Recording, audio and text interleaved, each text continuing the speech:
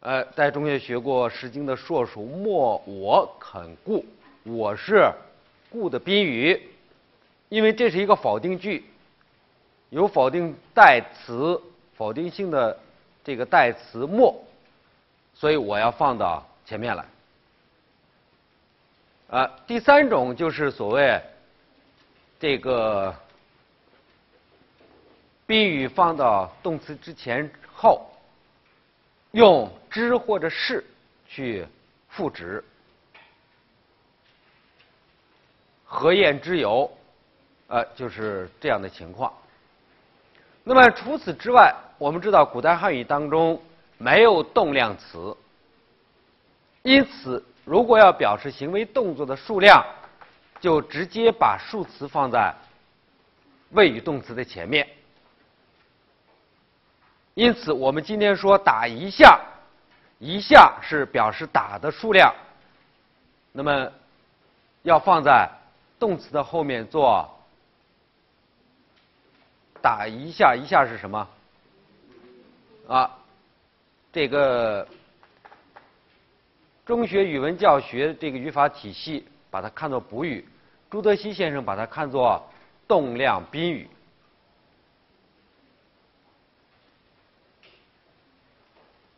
呃，如果用古代汉语表示这个打一下，我们就说一击，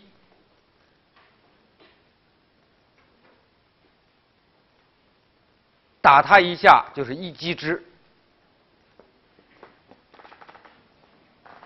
好，这是这个词序方面的差异。有的同学说，我们中学还讲过定语后置。呃，定语后置是一个呃伪命题，是一个伪命题。这个马之千里者，把千里者看成是定语是不合理的，而且很多学者没有注意到马之千里者这样的现象是到了战国时期才出现的，早期的汉语当中根本没有这样的现象。那么，更多的是出现在汉代，像《史记》这样的著作当中。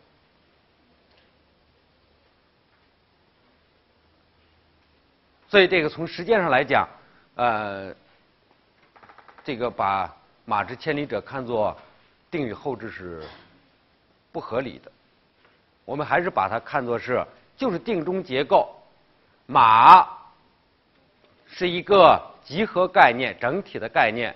千里者是一个这个整体当中的一部分，所以马之千里者就是所有的马当中的那些能日行千里的马。第三个专题是古代汉语的判断句。我们在讲文选的时候，对这个问题已经做了比较多的讨论。古代汉语的判断句不用系词是。这个“是”在上古汉语当中，主要有两个词性，一个是代词，一个是形容词，就是非的“是”。古代汉语的这个呃判断句，就用判断主语加判断谓语的形式，我山东人就可以了。不用说，我是山东人。那么，如果要强调这种判断的语气，可以用句末语气词“也”，我山东人也。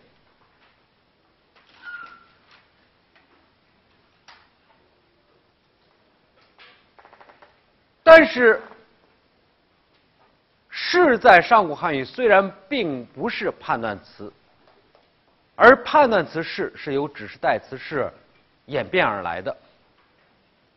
王立先生最早对这个问题做了非常细致深入的研究，在三七年写成的《中国文法中的系词》里面，他认为这个是，那么用在知之为知之，不知为不知，是之也这样的结构当中，因为前面。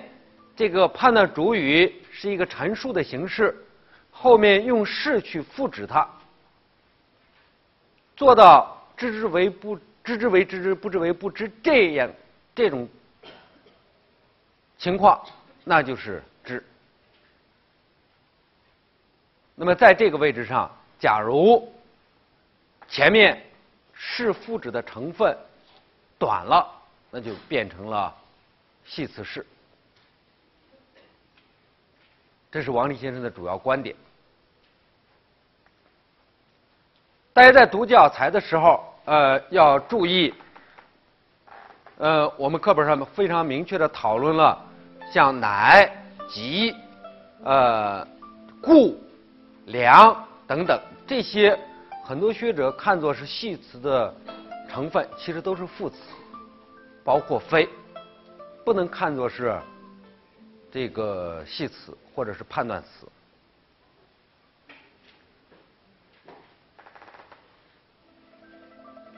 好，第四个专题，呃，在现代汉语当中，如果表示被动的话，我们一般的用被。呃，如果是在口语里面，我们还可以用叫、用让；北京话里面还可以用给。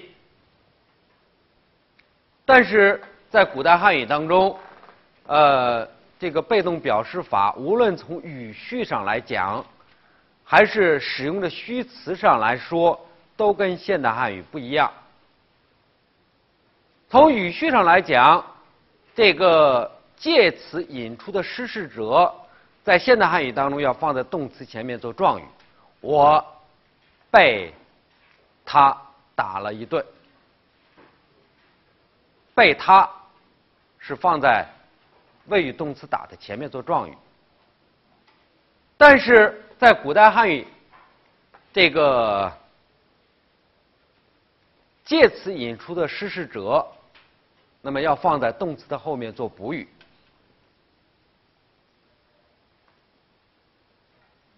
呃，参挂于目，目是挂这个行为的施事，但是用于引出来以后放在动词挂的后面，这是从语序上看。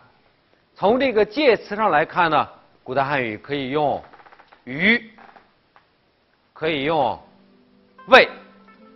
这个“被”字是东汉末年才开始出现的。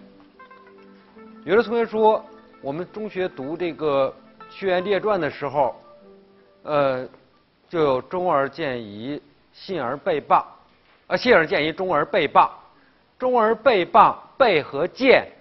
是互文，能不能说这个被就是表被动的意思呢？那么我们说这个时候，呃，被的后面绝对不可以引出施事者，所以我们还是把它看作一个表遭受意的动词。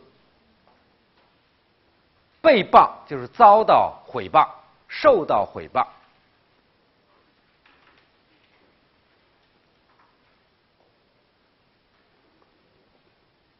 好，这是呃关于这个被动表示法第五个专题古代汉语虚词。我们读古代汉呃读古文，可能遇到最大的障碍就是呃就感觉到这个语气词系统发生了天翻地覆的变化。古代汉语用也、用以、用乎。用哉，而现代汉语主要的语气词是啊、妈、呢，还有什么呀？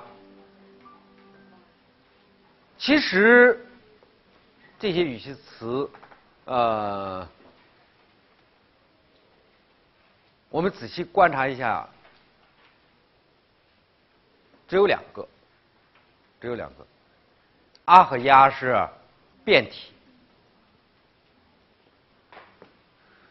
那么，古代汉语的语气词系统为什么这样复杂？甚至有的学者说，古代汉语不仅有句末的语气词，还有句首的语气词，像“夫为干”，呃，还有居中的语气词等等。这是一个问题，就是古代汉语的语气词系统为什么如此之复杂？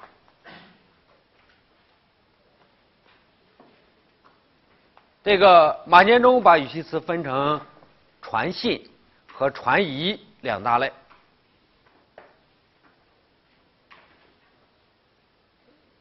这个句首句中的语气词，在马年中就已经呃这个都收列了，所以对我们课本上提出来的句首句中这些语气词究竟应该怎么看？大家一边读教材一边自己思考一下。我们后面讲到的时候，主要还是来讨论。好，下面我们就开始今天的这个主要话题，就是词类的活用。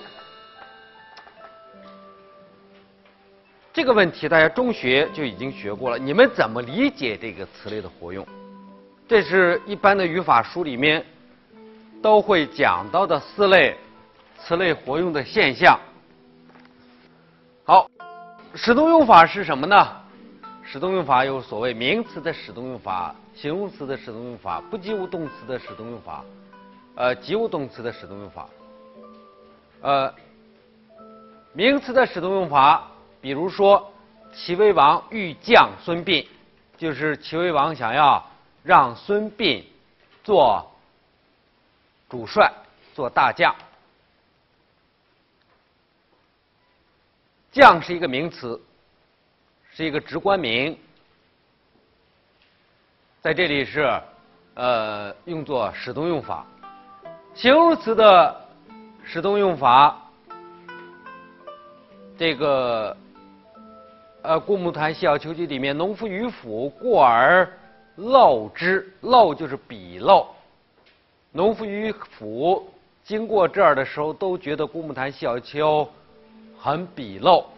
匠人着轮而小之，小之就是使它变小。这个不及物动词的使动用法，庄公勿生惊将士，惊是吃惊的意思，一般看作是不及物动词。惊将士使将士。吃惊使将是受惊，呃，及物动词的使动用法。那么，但是这个沛公从百呃从百余骑往见项王，从百余骑是使百余骑跟从自己。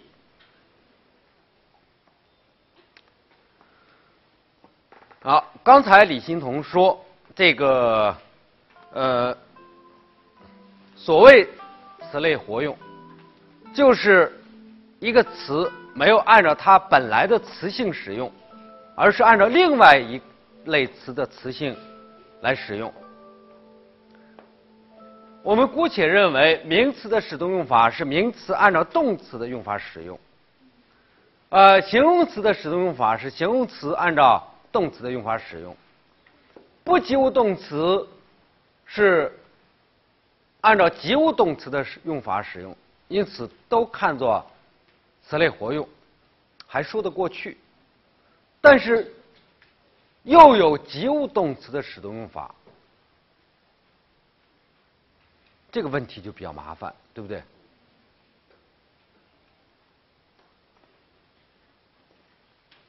而且这里。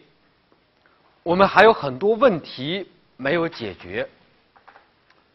我们怎么知道一个词原本的词性是什么？我们怎么知道一类词原本的用法是什么？大家说，我们是怎么知道的？我们怎么知道哪一类词该怎么用？这里实际上我们设定了一个前提，对不对？我们设定名词只能做主语宾语，如果它做谓语，甚至还带上宾语，那这就不是它的本来职务了，这是越位了，是不是这样？所以大家看，好，一种用法有名词的一种用法，形容词的一种用法。呃，刚才我们讲了这个做语法研究，先要切分单位，然后给单位划类，因为我们讲规则的时候，只能讲类和类组组合的规则，不可能讲一个词和一个词的组合规则。那样的规则就太多了，所以我们必须要这个划分出呃一定数量的词类。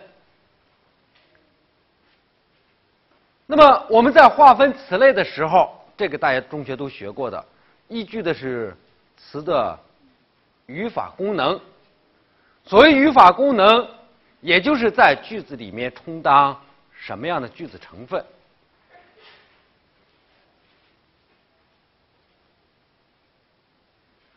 这样我们就有了下面这张表。一类词在句子里面充当什么样的句子成分，应该是固定的。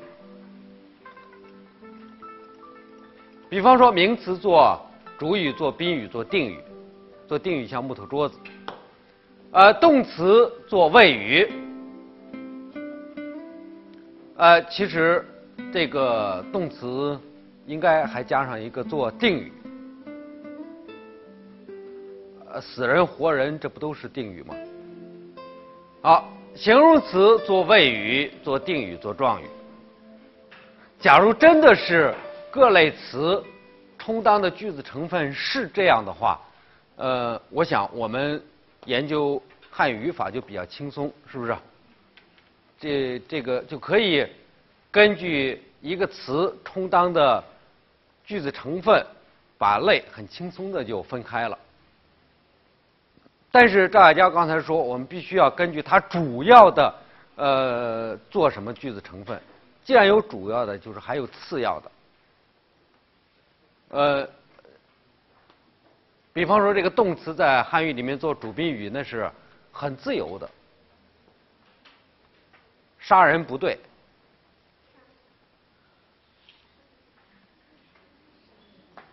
啊，杀人就是做主语了。啊，动宾词组也是动词性的。